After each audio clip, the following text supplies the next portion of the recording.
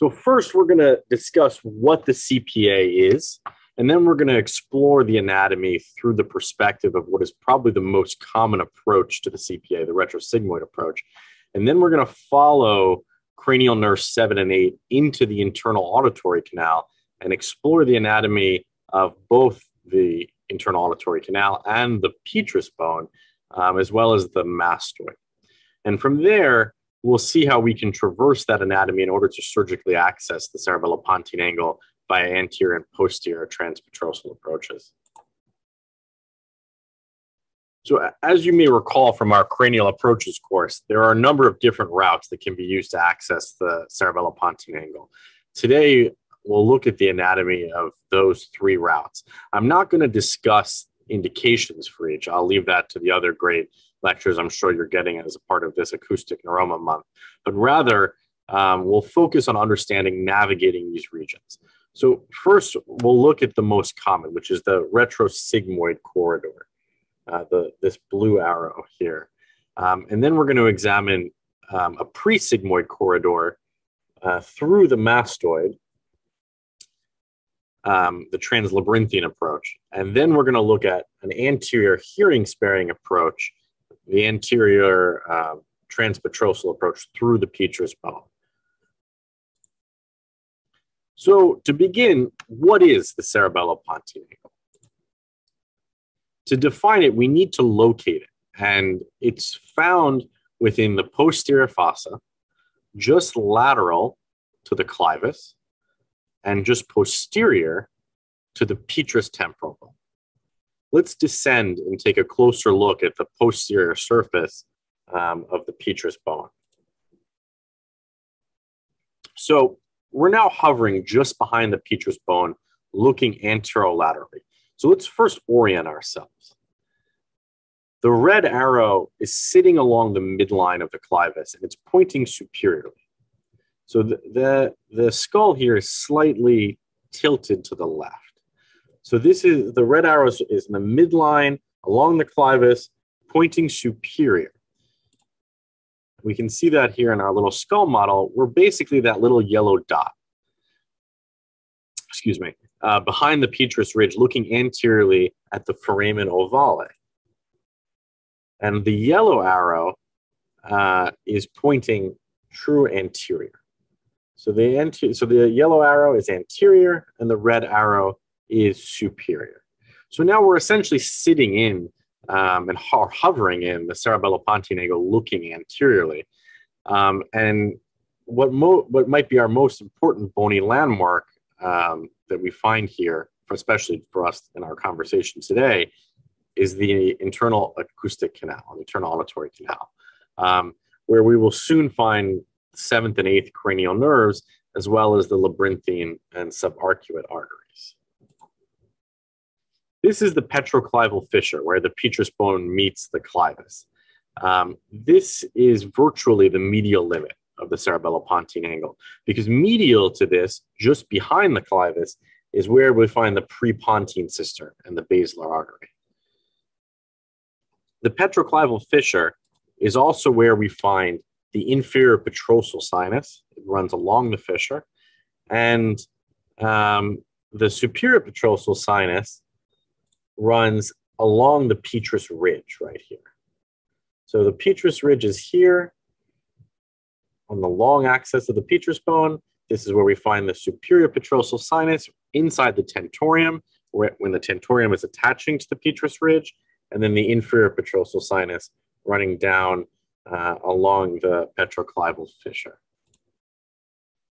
And as it runs uh, down inferiorly, we're going to find the jugular foramen, which is beneath the cerebellopontine angle, and where we find the lower cranial nerves, nerves 9 through 11 here, and then also the 12th nerve going into the hypoglossal canal, but not something we're covering today since it's below our target region. So here, um, we have a, a rough depiction of where the cerebellopontine angle is located in relation to the dry skull. It's posterior to the petrous bone, lateral to the petroclival fissure, superior to the jugular foramen, and inferior to the tentorium. now that we know where it is, what is the CPA? And the, the CPA is just a cistern. And I'm sure you all know a cistern is just an intradural space separated by arachnoid um, and filled with cerebrospinal fluid. Um, and we call it um, an angle in this case because it's located between, uh, at the angle between the anterior surface of the cerebellum and the lateral surface of the pons. As I mentioned before, you can see the medial to the, the cerebellopontine angle is the prepontine cistern um, running along the clivus where we find that the basilar artery. So again, the CPA is inferior to the tentorium, posterior to the petrous bone, lateral to the petroclival fissure, anterior to the cerebellum and pons, and superior to the jugular foramen and lower cranial nerves. Let's take a look at everything together. So we're looking at a right side skull base. The tentorium above the cerebellum is cut to reveal the superior surface of the cerebellum. Um, and the top of the image here is anterior, the back is uh, posterior, the, the right for the right side is lateral. Um, and let's zoom in. We can see uh, the here we can see the midbrain. We can see third nerve coming up and over the uh, posterior clinoid process and uh, exiting the dura, entering the cavernous sinus, something we looked at in our anterior circulation lecture, which you can go back to. We're not going to cover much today, but uh, just here underneath it, we see the superior cerebellar artery coming around um, infratentorial, and we know that because this is the, the free edge of the tentorium uh, right here. Um, I don't. Can you see my mouse? I'm not sure, but uh, if you can, I, that's where I'm pointing. Um, and then this is cut to reveal uh, the superior surface of the cerebellum. So now let's rotate this image uh, and look at the right side from a lateral view.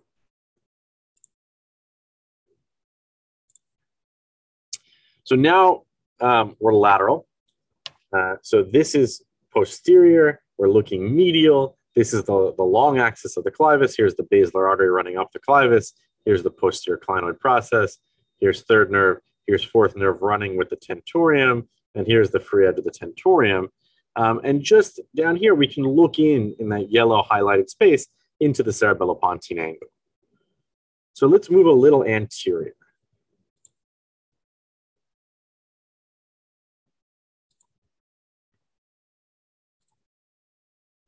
Now, we're positioned anterior, looking posterior um, at the basilar artery, and we can see the cerebellopontine angle here. Um, and we can see the internal auditory canal. So we know where the CPA is and what and what the CPA is, but what about its contents?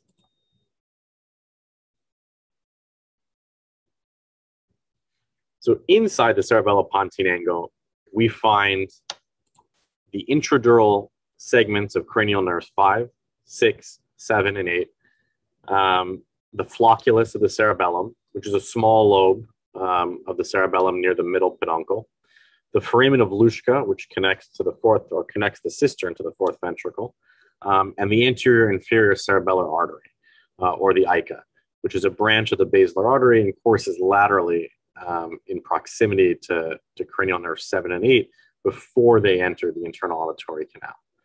Um, let's also look at some of the surrounding anatomy that we see here. So here's the basilar artery coming up along the clivus. The, the, the fifth nerve is cut here because um, the, the brainstem is pulled back so we can see everything.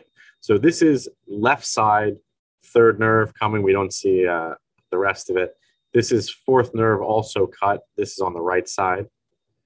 Um, so three, four, five, which would be coming out of its uh, uh, root, coming uh, and entering Meckel's cave, exiting the dura.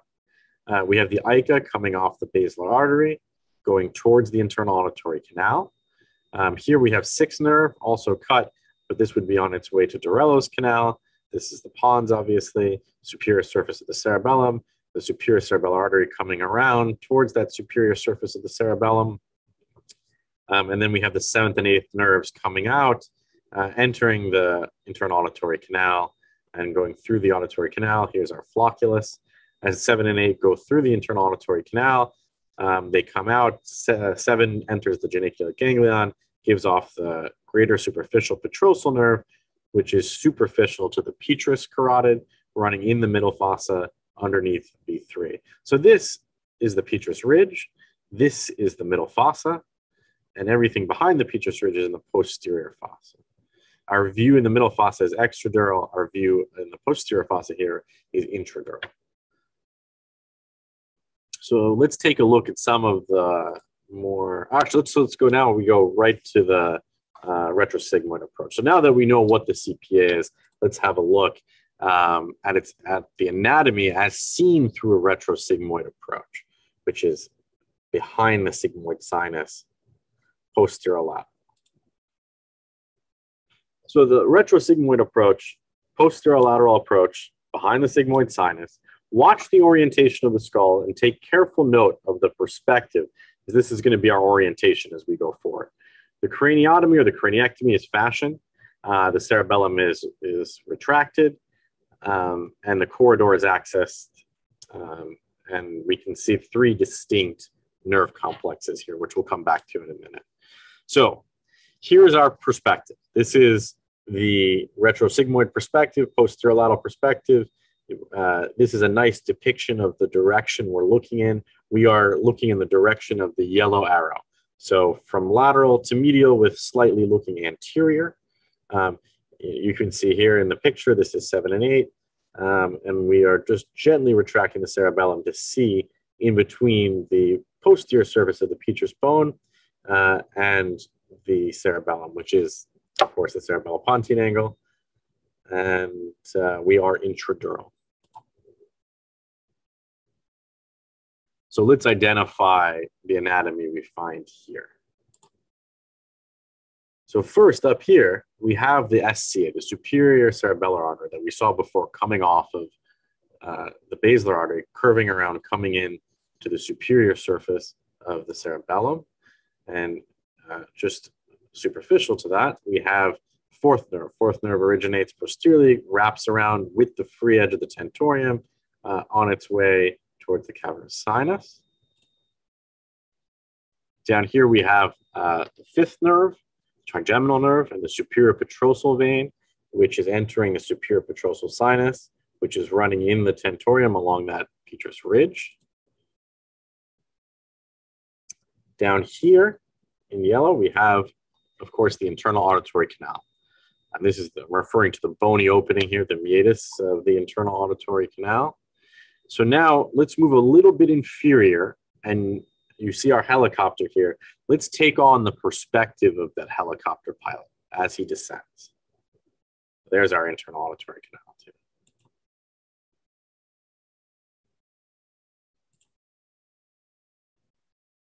Okay, so now we're taking on this more zoomed in perspective. So this is still our internal auditory canal. This is going, you know, coursing anteromedially so this is anterior medial. We're lateral. We're looking directly medial along that long axis of the petrous bone. The petrous ridge and tentorium are above us. We don't see them. And this is our fifth nerve. So this is the intradural portion of fifth nerve as it's coming out of the brainstem, going up over the petrous ridge, entering Meckel's cave and exiting the dura. Here is seventh nerve seventh nerve coming off on its straight direct course into the internal auditory canal. And we have eighth nerve doing very much the same. And in between them here, we have the AICA, the anterior inferior cerebellar artery, um, and the labyrinthine artery. So if we retract the cerebellar hemisphere a little bit and we zoom in, we can clearly see that eighth nerve, vestibular nerve. There's the AICA again, which gives rise to the labyrinthine artery and the subarcuate artery. And down here, this is the origin of seventh nerve. So here we have seven and eight running into the internal auditory canal. And we have the AICA, and in this case, the AICA giving off a labyrinthine and subarcuate arteries. Over here, this spongy substance is the choroid plexus of the fourth ventricle, just atop the foramen of Luschka, which connects the cistern with the fourth ventricle. And down here, we have our lower complex, which uh, this is the ninth nerve, the glossopharyngeal nerve, a little bit lower than the CPA where we're going to be looking today. This is the 10th nerve, vagus nerve, um, and then 11, uh, the accessory nerve. Now let's keep that same orientation, but zoom out and, and see more from the top and add in some things we've seen before. So here is the tentorium, and it's incised um, along the axis here.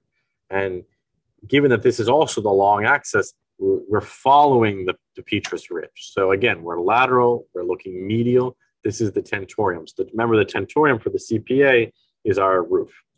So in this case, it's cut just so we can see a little bit more. Um, and we can also see here within the tentorium, we have that superior petrosal sinus, and, then, and there's a superior petrosal vein that drains into that superior petrosal sinus.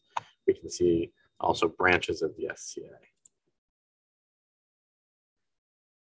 And here, this is fifth nerve. So the trigeminal nerve coming off, going straight up and over that petrous ridge, entering Meckel's cave, exiting the dura.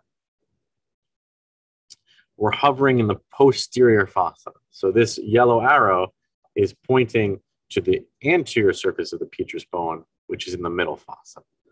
So the arrow is supratentorial, and everything above this cut is supratentorial, and everything we're looking at here is infratentorial. So everything underneath is infratentorial, and we're, of course, intradural.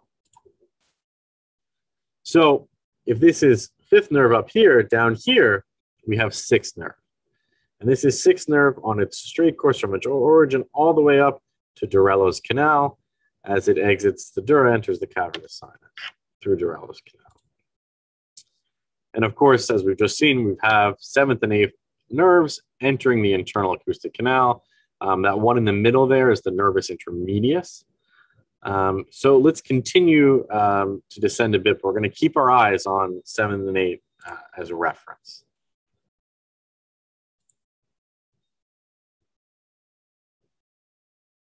Okay, so we're just a little bit lower. So now just remember our retrosigmoid perspective here.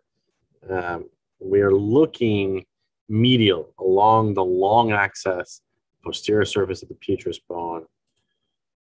And what do we expect to find here?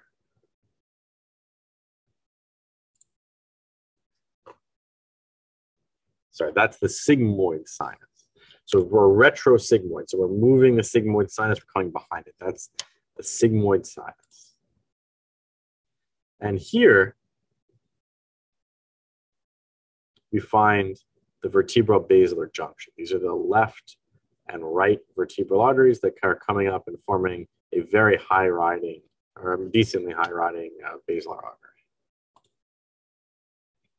And again, we can see that choroid plexus, the fourth ventricle and the foramen of Luschka. And here is ninth nerve, 10th nerve, uh, and 11th nerve all going into the jugular foramen.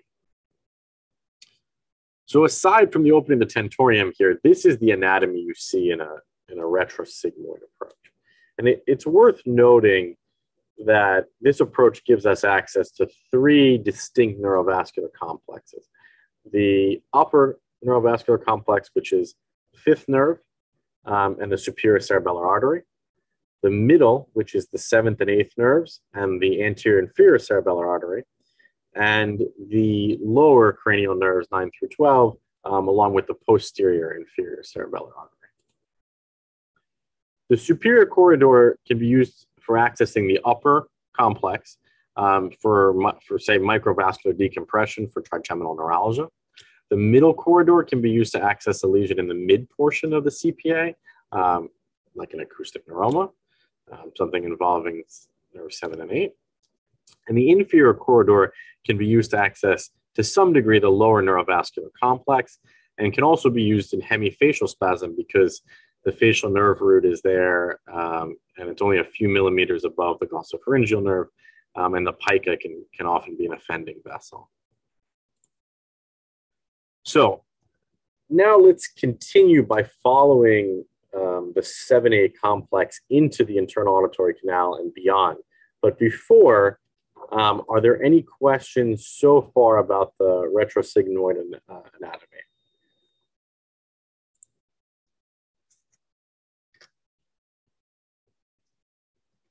Okay, we'll keep going then.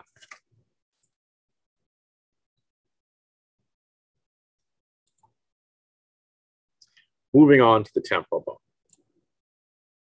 The temporal bone is, a, is an anatomically complicated and compact structure that encases so many vital structures, including the internal carotid artery, the semicircular canals, the inner ear, the, uh, the, the, uh, the jugular, uh, sigmoid sinus jugular bulb,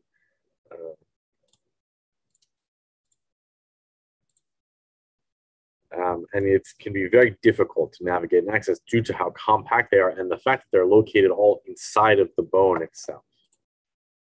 So let's begin in the middle fossa and work our way back towards the internal auditory canal. But let's first reorient ourselves since, uh, since some of you may be new to this. So um, we can use um, these red lines here. So this horizontal line is running from posterior to anterior along the midline. So the right of this image is anterior. The um, the middle is medial and midline, and the posterior and the back, the left side is posterior. Uh, up here we have superior. Down would be inferior. Here is medial, and here is lateral. We can see that also on the dry skull. What we were looking at before here is the petrous ridge posterior surface of the petrous bone, but now we're going to look at the anterior surface of the petrous bone within the middle fossa. Um, then here's our clivus coming up, giving off the posterior clinoid process. Here's the anterior clinoid process, and here are our foramina. So nose,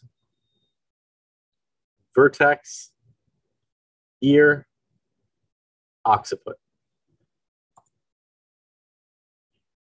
So let's just do a quick review of the anatomy here. Um, so this is an extradural view of the floor of the middle fossa. Um, the epineurium covering a lot of the cavernous sinus has been removed.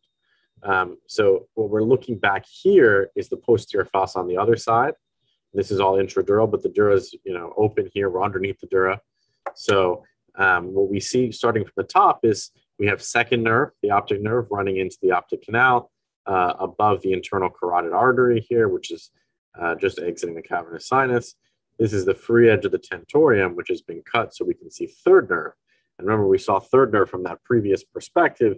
Here, third nerve is coming again up and over that the posterior clinoid process, um, exiting the dura through the oculomotor triangle, entering the cavernous sinus uh, on its way to um, the supraorbital fissure. Here's fourth nerve also coming with the tentorium.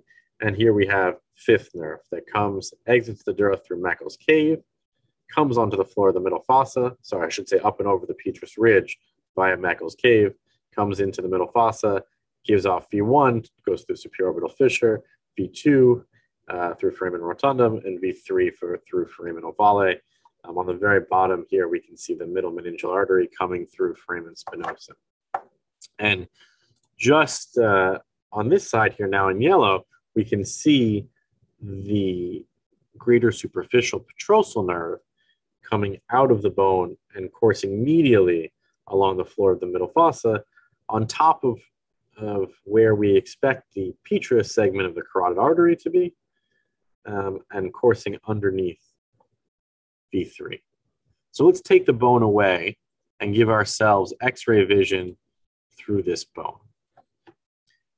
Now, you can see our little bus here. So we're going to take a drive and we want to drive our goal. We're now sitting on V1. So our goal is going to be to drive to the external ear. Um, so let's take a look at our, our possible route options to get from sitting on V1 to the external ear.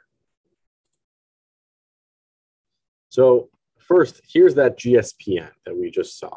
So GSPN coming off the geniculate ganglion, coursing on top of the petrous segment of the carotid, underneath V3.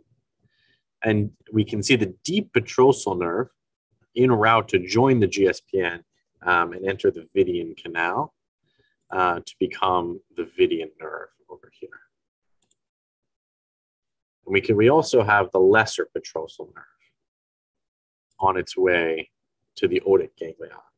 So the we have here the geniculate ganglion, facial nerve, internal auditory canal, geniculate ganglion, greater superficial petrosal nerve on top of the bone. You can see why that's an indicator of where the petrous carotid is, because the petrous carotid is running in the bone, toward, you know, uh, in the carotid canal, um, in the petrous bone, running medially towards the cavernous sinus. And so we have GSPN, deep petrosal, and lesser petrosal nerves. And that's the geniculate ganglion. And the geniculate ganglion is the most significant ganglion um, of the facial nerve. Um, and it sits in really close proximity to another very important structure that we're going to be seeing a lot here. Um, any idea what might be in this area? This is the cochlea. So let's zoom in and take a closer look at this, at this region. So now we put the bone back. Orientation is roughly the same. Here's again, fifth nerve entering Meckel's cave, exiting the dura, coming up and over. Here's our carotid exposed. Here's our GSPN, V1, V2, V3. Here's all the, uh, up here is the cavernous sinus. So we're gonna be focusing on this area now. So we've zoomed in. So we can see now, we can see the superior petrosal sinus here in the tentorium.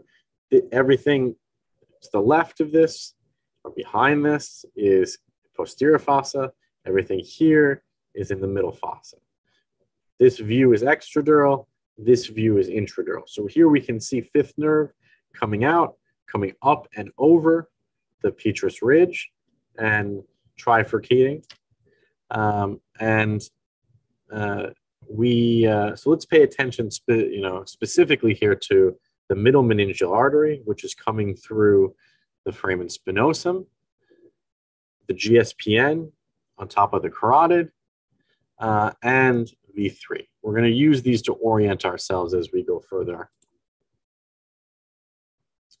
And here, of course, is the internal auditory canal. So remember, our goal is to drive to the external ear. So if we drive, if we we're sitting now here uh, on the GSPN, if we take a right, go through the geniculate ganglion into the internal auditory canal, it's probably going to be a dead end.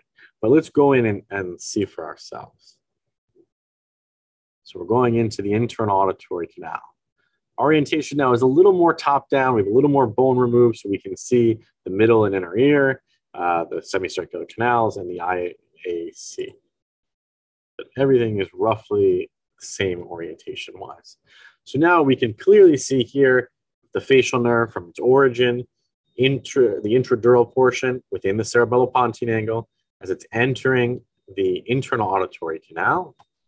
It's coming, go coursing straight, and then entering uh, the geniculate ganglion. And the geniculate ganglion is giving off that GSPN. And it continues uh, and curves around to become the tympanic segment of the facial nerve.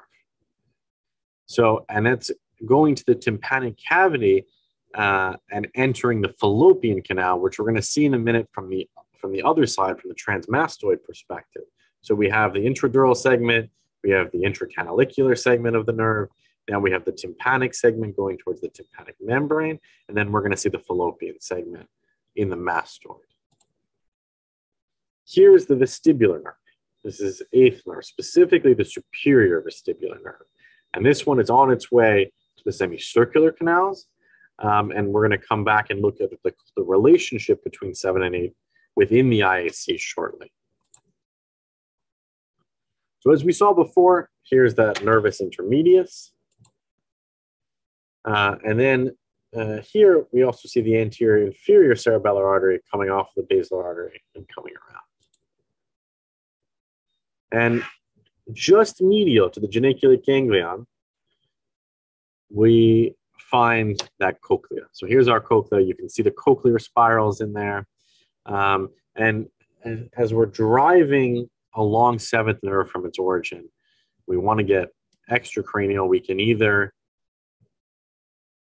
go through geniculate ganglion, we can make a left. We can make a left and we can go on to the GSPN, or we can make a right and go onto the tympanic segment and go to the mastoid. We don't want to go to the Vidian canal, and we just came from that area, so we're going to go around and follow the tympanic segment. And if we follow that tympanic segment, it brings us here to the labyrinth, which is the inner ear. Um, and it's comprised, it's composed of the semicircular canals, including the lateral semicircular canal, sometimes called the horizontal canal, the posterior semicircular canal, which is the most posterior, and the superior semicircular canal. And due to its height, the superior semicircular canal, in some cases, creates a ridge on the base of the skull, known as the arcuate eminence, which you can see here in this really nice depiction. It's not, it's not a good, great correlation, but it, it's, a, it's sometimes a good indicator um, and you can see uh, here what that kind of looks like. So just underneath the labyrinth, we have the tympanic cavity, which um, comprises the middle ear and contains the ossicle, uh, the ossicles, which of course include the malleus, the incus, the stapes, which bangs on the tympanic membrane and brings us out into the external auditory canal. On the intracranial side of the tympanic membrane, we have something else here, and it's a muscle. I bet some of you know what this muscle is. It helps us dampen loud sounds. Some people can involuntarily can, can voluntarily flex it and control it. This is the tensor tympani muscle. And right underneath the tensor tympani muscle, we have the eustachian tube, which connects the middle ear to the nasopharynx. And last but not least, we have, again, our superior petrosal sinus running in the tentorium along that petrous ridge. So now let's zoom in and take a look at the relationships between those structures inside the internal auditory canal This is a, lateral view. We're back in a, a retrosigmoid perspective. So left of the image is posterior, uh, right of the image is kind of anteromedial. So we're lateral looking medial. Um, I'm sorry, I said lateral, but the lateral perspective, medial, looking medially at the internal auditory canal. So here's the internal auditory canal. And we have seventh nerve entering the canal, and eighth nerve large beneath it. And here is the anterior inferior cerebellar artery um, separating the two in this case. And again, the subarcuate artery and the labyrinthine artery, both of which most commonly originate from the AICA.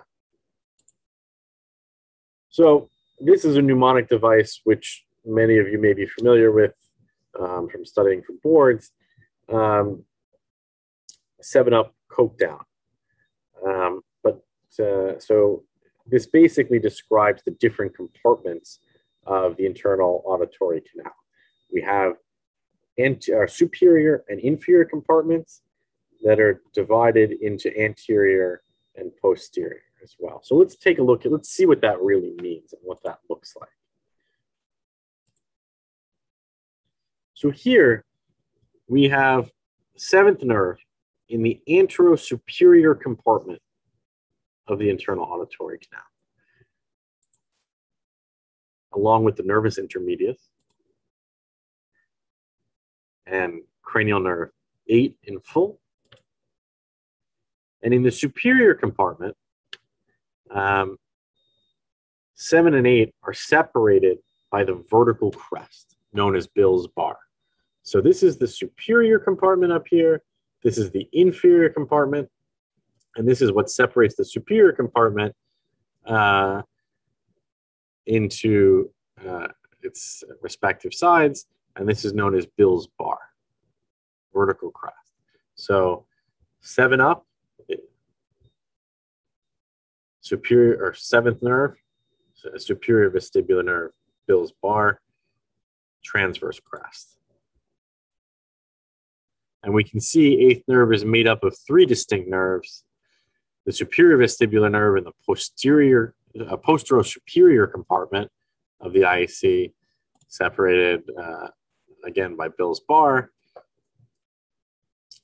Oops. Um, and separated uh, from its compatriots in the inferior compartment by the transverse, or, or sometimes known as the falciform crest And the inferior vestibular nerve in the inferior compartment of the internal auditory canal, which runs with the cochlear nerve, sometimes called the auditory nerve. So superior compartment, inferior compartment, separated by the transverse crest, and then the superior compartment separated by Bill's bar. So let's put some more of these pieces together. Let's just take a look at this from a superior perspective. So here we have seventh nerve running in the IAC, forming the geniculate ganglion, that fork in the road, giving off the greater superficial petrosal nerve, which is going through the facial hiatus, entering the floor of the middle fossa extradurally, um, you know, traveling on top of that petrous carotid on its way underneath V3. And in the vertex of uh, GSPN and seventh nerve, of the angle between them, the vertex of the angle between them, we find the cochlea. We can see its spirals here. And on the other side of the superior compartment, we have the superior vestibular nerve on its way to the labyrinth via the vestibule, which is essentially the central part of the labyrinth. Um, hence why we see the superior semicircular canal here. And just remember that arcuate eminence from earlier. And the superior vestibular nerve, again, is separated in that superior compartment by Bill's bar, the vertical crest. Um, Bill's bar named after uh, William House of the House Institute and the House Brackmann scale. And separated from the inferior compartment by that transverse or, or falciform crest. And in the inferior compartment, we have the inferior vestibular, the cochlear nerves, um, and if we fall and and the oh, sorry, and the cochlear nerves. And if we follow the facial nerve into the geniculate ganglion through the GSPN, we know we end up back in the middle fossa going towards the cavernous sinus. So, like we said, we want to follow the seventh nerve out and go towards that tympanic segment. Um, if we follow the cochlear nerve, we're going to terminate inside the cochlea here, which we don't want to do. We want to get to that external ear. Here's the cochlear nerve coming into the cochlea. If we follow the superior and inferior vestibular nerves, we terminate in the labyrinth.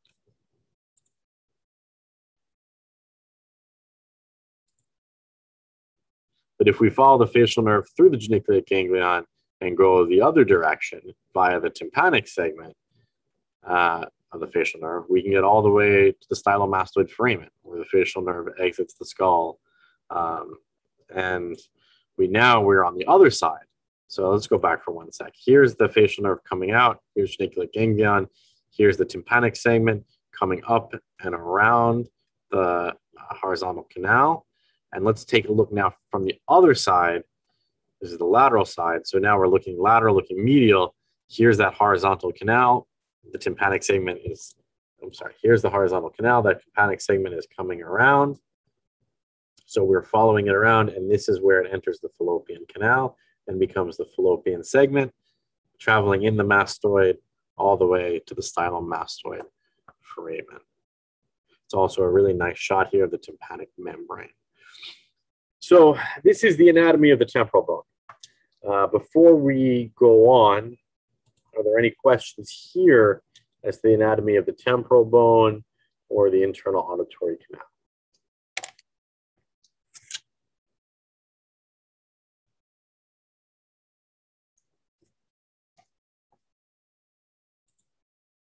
Okay, so now we can examine the transpetrosal routes the routes through the petrous temporal bone to the internal auditory canal and cerebellopontine. Angle.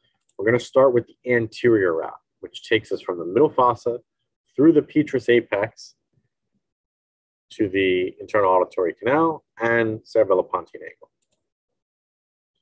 So here we have a top-down view. You can see the superior surface of the cerebellum again. You can see the pons over here. This is where our, our cerebellopontine angle um, would be found. Um, take a look again here at the at V3, trigeminal nerve, V3. Take actually a look at intradural 5 as well as extradural V3. Um, and we're going to use this uh, as an orientation as we continue. So now we're looking posteriorly, we can see the same thing. Here's that fifth nerve coming up and over petrous ridge. There's V3. There's our greater superficial petrosal nerve um, on top of the petrous carotid, under, going underneath V3. And here, this is where the fruit of the tentorium was. So this red arrow up top is pointing posterior. This is fourth nerve. This is third nerve. Um, and then this arrow on the left is pointing lateral. So given all the complex structures in the petrous bone, there is one open safe route by the petrous apex from the middle fossa to the cerebellopontine angle um, along the internal auditory canal um, to the superior to the petrous carotid and medial to the superior semicircular canals. So let's, let's just take a closer look at that. This is known as Kawase's triangle. Um, so as we saw, GSPN is our superficial landmark uh, for the internal auditory canal. So keep that in mind. So here's V3, keep that in mind as well. And the superior semicircular canal and arcuate eminence. So we'll use these to orient ourselves. This is the superior petrosal sinus running along the petrous ridge. Here's the intradural fifth nerve coming up and over that petrous ridge um, and entering the middle fossa. So V3, carotid, superior semicircular canal. And at the base here, this is where we expect to find the internal auditory canal uh, with seventh and eighth nerves coming. So it's running in this direction towards the geniculate ganglion. And this is, of course, where we expect to find, uh, sorry, on this side, the cochlea. So this is our route. This is a left side.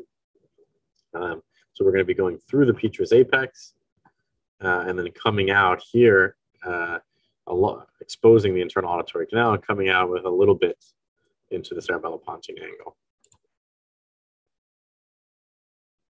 So this is the petrous ridge where the drilling would take place.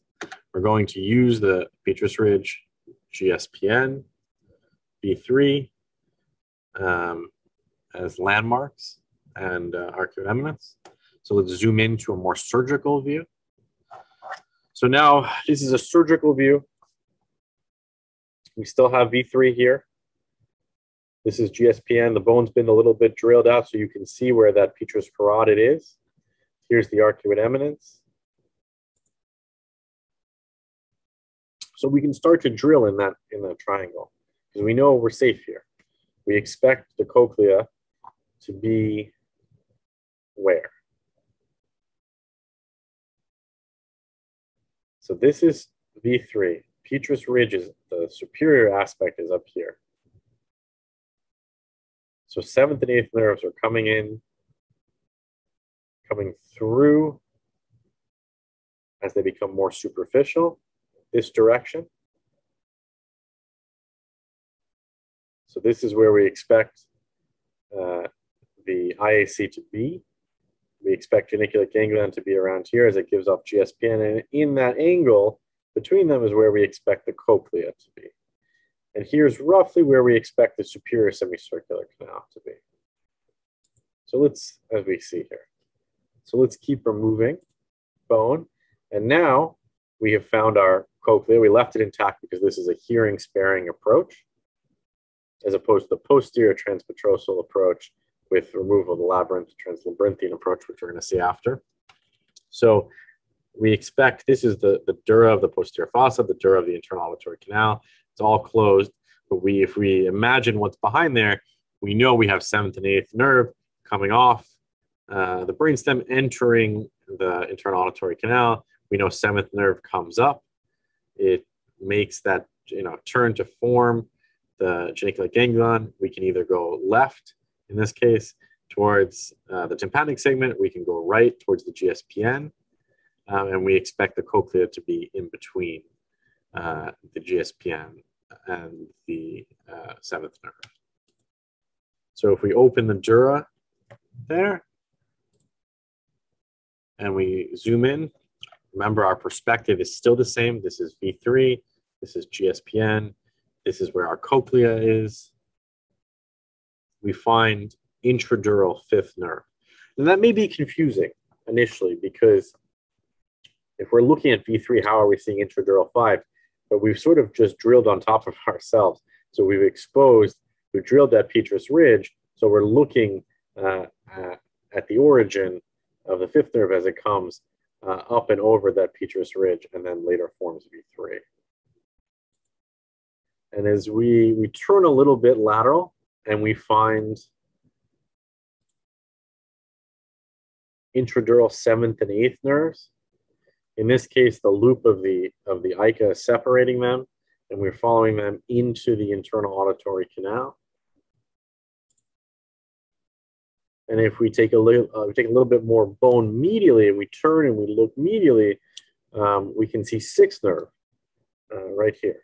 And this is sixth nerve coming off on its way into Dorello's canal, exiting the dura, entering the cavernous sinus, um, just underneath the anterior inferior cerebellar artery here, which is coming off of the basilar artery right here. And if we look really deep, we can see the vertebral basilar junction. So both verts coming up, forming the basilar artery, um, due to the fact this is a high-riding basilar artery. So here we can see fifth nerve, intradural, sixth nerve, intradural. We have the AICA, as well as seventh and eighth nerves, intradural, and the vertebro-basilar junction. And if we lift the basilar artery, we can see this. Any idea what this might? This is the contralateral ICA on the other side. So this is the anterior transpetrosal route to the cerebellopontine angle and the internal auditory canal. So now let's take a look um, at a posterior transpetrosal route, route through the mastoid and through the labyrinth that sacrifices here. Earlier, we saw the retrosigmoid, and now we're seeing a pre-sigmoid perspective. So these green and red arrows here um, are the transmastoid routes. The green is the translabyrinthine approach, which we'll see. So that means we're going through the mastoid. This is the mastoid and its air cells, through the mastoid antrum, through the labyrinth, which is the semicircular canals, and into the cerebellopontine angle. So this one is a right side. This is our mastoid. Let's zoom in.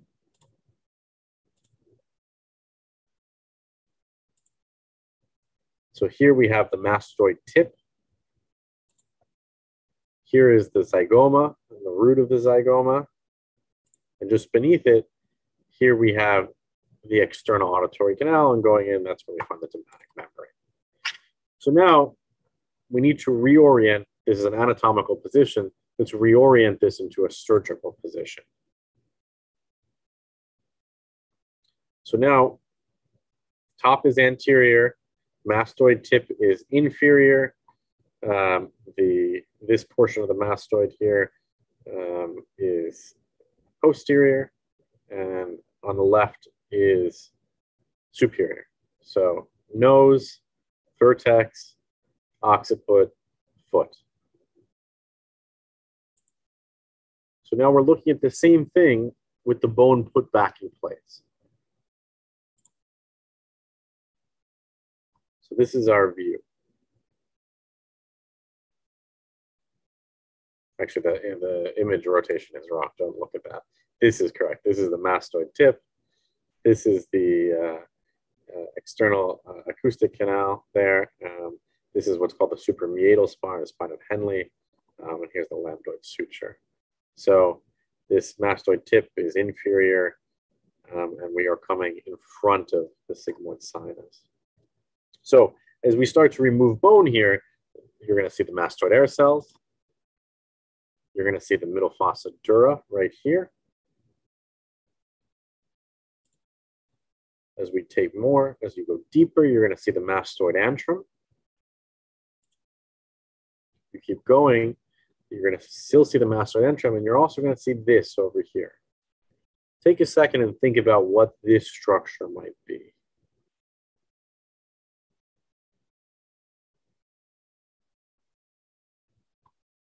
This is the incus. The incus is useful in this approach because it gives you the rough depth of where the facial nerve is. So you can, once you find the incus, you know what depth the facial nerve is, you can continue to remove bone, and you can see here's the incus, and here's the facial nerve. Um, and you can see the canals are starting to, to come in. You, this is the inside of the canal, and the labyrinthectomy portion is starting.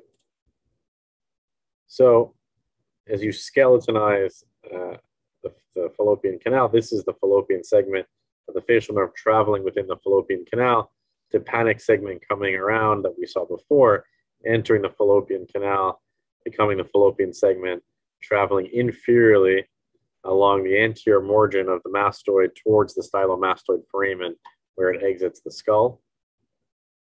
Um, here we also see the sigmoid sinus with the bone removed um, and the, the vestibule here that we saw before.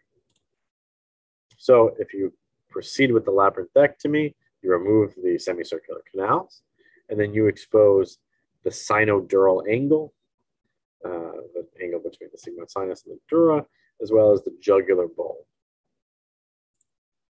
And if we re remove the rest of the bone here, we find the dura of the internal auditory canal, and the posterior fossa dura. So this is the entire mastoid drilled out, labyrinth removed. Here's the dura of the internal acoustic canal. So extracranially here we have the mastoid tip. Um, and then stylomastoid foramen, and we can follow the facial nerve all the way back through the fallopian canal, all the way around what would have been the horizontal canal. It's been removed back into that internal acoustic canal remember, it makes that turn. Here's that turn. Um, and it comes back in. Now we're inside the dura of the internal acoustic canal as it comes back towards uh, the posterior fossa. So just beyond this little bit is where we'd expect to see that intradural portion of seven and eight. So let's open the dura and see. And of course, that's what we see. Here's our, here's seventh nerve coming around, and then here's intracanalicular seven, meaning within the canal, and intradural seven, seven, oh, seven and eight, sorry, and um, our flocculus. So here you can see everything labeled. There's the incus, facial nerve, middle fossa dura, and then uh, sigmoid sinus, jugular bulb. We are pre-sigmoid, so in front of the sigmoid sinus this time, as opposed to posterior to the sigmoid sinus in the retrosigmoid approach. Um, but uh, you have to remove the semicircular canals to expose this. And here we have, uh, superiorly, we have fifth nerve, uh, and then closer to us here, we have the facial nerve um, right there. So as we zoom in, welcome back to the cerebellopontine angle. Uh, the retrosigmoid approach, um, again, behind the sigmoid sinus, but here we're in front of that sigmoid sinus and we can see here's fifth nerve entering Meckel's cave, going up and over that petrous ridge,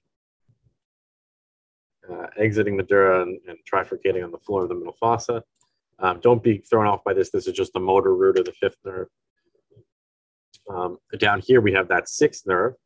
So five, six, six coming up, entering Dorello's canal, which is covered by Gruber's ligament, uh, exiting the dura, entering cavernous sinus. Um, and here we have seventh nerve and eighth nerve. This is the superior vestibular nerve and the inferior vestibular nerve. And then in the middle, we have the nervus intermedius and together they are going into the, the internal auditory canal. And between them, we have the AICA. And down here, we have the lower cranial nerves, nine going into the jugular foramen, and 10 going into the jugular foramen. So um, if we look further inside that internal auditory canal, um, we can see again that entire course now of the seventh nerve.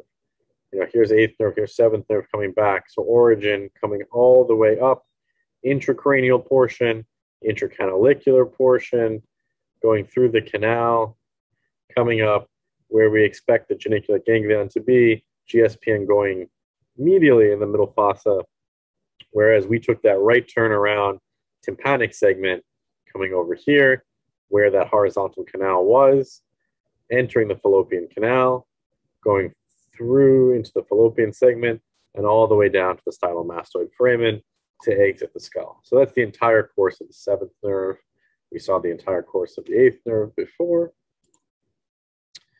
And now if we detach uh, that facial nerve from the geniculate ganglion, um, we can uh, transpose it backwards.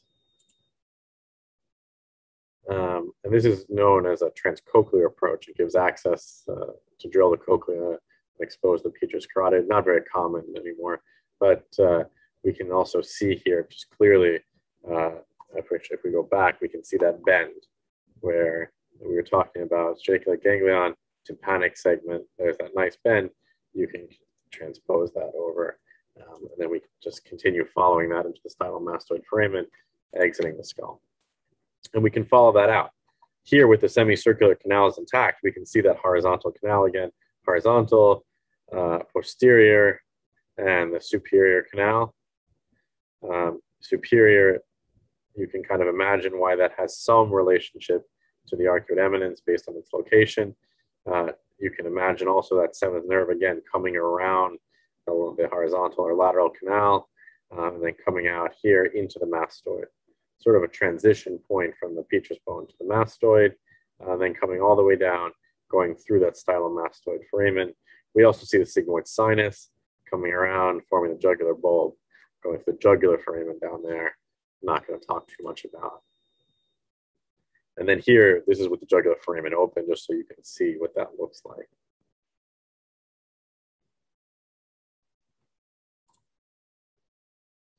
So we came through the mastoid here. This is the mastoid. These are the mastoid air cells. This is the external auditory canal. We came through the mastoid, through the labyrinth, um, in order to, to find the internal auditory canal, cerebellopontine angle, here, again, is 7 coming around. Here uh, is the geniculate ganglion. Here's GSPN. Here's the tympanic segment. And here's the entrance into the fallopian canal that we just looked at. But this is from a different perspective. But the anatomy is the same. You just have to reorient, reorient your mental, uh, mental model of the anatomy. So to review, from an anatomical perspective, let's take a look at everything that we can see here. Um, and we can start from the, the very top. This is third nerve. Um, third nerve coming straight down on top of the posterior clinoid process, which is coming off of the clivus, which is anterior to the basilar artery that's running up along the clivus, uh, the prepontine cistern. We have third nerve coming up and over uh, the posterior clinoid, um, exiting the dura via the oculomotor triangle, entering the cavernous sinus on its way to the supraorbital fissure. Above that, we have the anterior clinoid process. And medial to that, we can see, in this case, the ophthalmic segment, and then underneath that, the clinoid segment, and then the cavernous segment of the internal carotid artery. We have fourth nerve that originates posteriorly, wrapping around uh, midbrain coming um, with the free edge of the tentorium, uh, exiting the dura over here and entering the cavernous sinus also on its way to supraorbital fissure. So three, four, then we have fifth nerve coming from its uh, origin intradurally, going up and over that petrous ridge, as you can see here, entering Meckel's cave, trifurcating on the floor of the middle fossa into V1, which is going to the superior orbital fissure in the cavernous sinus, V2, which is going to the foramen rotundum, uh, exiting the skull in the cavernous sinus, cavernous sinus all the way down to here. Then we have V3 uh, exiting, going on top of the GSPN, exiting through foramen ovale. We can also see middle meningeal artery coming up through foramen spinosum. So that's three, four, five. Here we have six nerve, six nerve coming up, exiting the dura through Dorello's canal, which is covered by Gruber's ligament, entering the cavernous sinus, going underneath V1 on its way to the superior orbital fissure. Here we have seventh nerve. In this case, it's been cut so we can see a little bit more, um, but uh, it's seventh nerve, uh, and this would be the intracranial segment uh, going into the internal auditory canal, coming straight, um, giving off the geniculate ganglion, which gives off the GSPN, and then coursing, making a very sharp turn, going laterally and inferiorly, going around the horizontal canal, entering the fallopian canal and going out uh, towards the stylomastoid foramen. Um, here is our sigmoid sinus, um, jugular bulb. Here's our lower cranial nerves entering the jugular foramen. We also have eighth nerve here going towards uh, the internal auditory canal. So that's three, four, five, six, seven, eight, nine, 10, 11. Um, vascularly, we have the basilar artery coming up from the two verts, uh, a vert giving off the posterior inferior cerebellar artery, the basilar giving off the anterior inferior cerebellar artery, coach, uh, which is going towards the IAC at the level of seven and eight, um, and then coming up, giving off uh, the superior cerebellar artery, which is coming around, going on the superior surface of the cerebellum, and all of that is infratentorial. Uh, now, as we go supratentorial, we have the, the PCA, which is coming around here. Uh, we don't see uh, anything above that. So same, same view or same anatomy from a more surgical perspective. The tentorium is also open here. This is a pre-sigmoid view, and it's the same anatomy. So we have the, we're just lifting the temporal lobe here. This is the free edge of the tentorium. Here's fourth nerve wrapping around the tentorium. Uh, as we saw, exit, exiting the dura, entering cavernous sinus. Here's fifth nerve going, going up and over the petrous ridge, uh, Meckel's cave into the middle fossa. Uh, sixth nerve on its way to Dorello's canal. Seven and eight coming here. Uh, eight going into uh, uh, canals and the cochlea. Seventh nerve, as we can see, geniculate ganglion, GSPN medially, uh, tympanic segment laterally, coming all the way around the fallopian canal, right into the stylomastoid foramen. Uh, and here's the sigmoid sinus and our lower cranial nerves.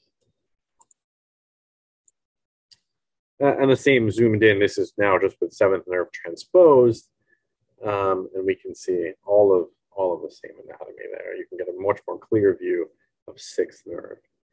So that is pretty much the anatomy of the temporal bone and the cerebellopontine angle as seen through three different surgical perspectives. Posterolateral, which is the retrosigmoid approach, lateral, which is the transmastoid approach or presigmoid approach, and anterolateral, the anterior transpetrosal approach.